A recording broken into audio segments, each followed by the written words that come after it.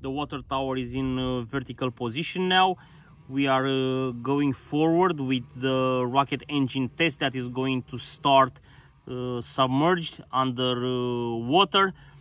A test that is relevant for the eco rocket and eco rocket uh, heavy programs.